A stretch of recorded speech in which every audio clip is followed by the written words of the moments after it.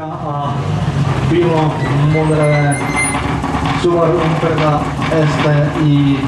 To nemůže být nikdo jiný než další finalistý posádek Kratonošníky v loňském roce splnil svůj sen, poprvé startoval na soutěžích mistra.